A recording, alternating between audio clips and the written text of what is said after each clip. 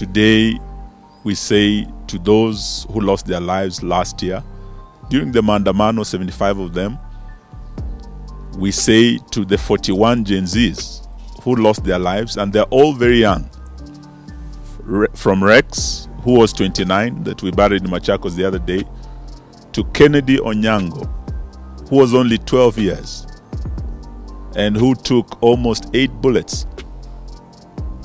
And this system keeps changing the story.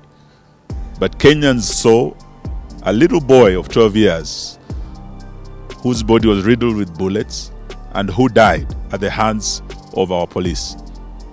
We are here to commemorate these deaths, but also to salute the freedom fighters.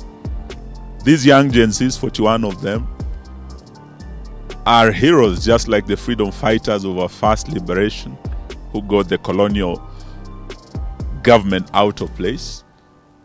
Freedom fighters of the second liberation who went on Sabasaba Day and got the Nyayo system out and who said Moi must go and Moi went. Today we hear these young heroes saying Ruto must go and Ruto will go. We have no doubt about that. It's a matter of time. We know he's trying to panel beat his government, to put some very cosmetic changes, to form task forces. We must thank the Law Society of Kenya for rejecting to be lured into a system of cleansing an already failed regime. Let us listen to the voices of the millions of Kenyans who are saying Ruto must go and ensure Ruto goes. As Azimio, we want to assure them that we stand with them. Their cause is our cause. We have listened to our parliamentarians speak and even followed debate in our Senate. And we heard some of the our parliamentarians say blood was shed on the hallowed grounds of parliament and that parliament needs cleansing.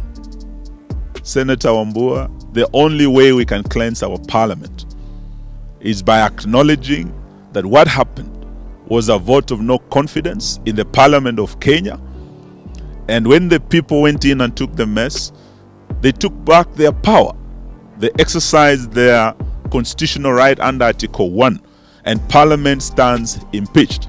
The only way to cleanse this parliament is to ensure that we have an IEBC in place, and that's why I agree with His Excellency that Ruto should sign the uh, assent to the IEBC bill so that we reconstitute IEBC and prepare for a fresh election where this parliament should seek fresh mandate.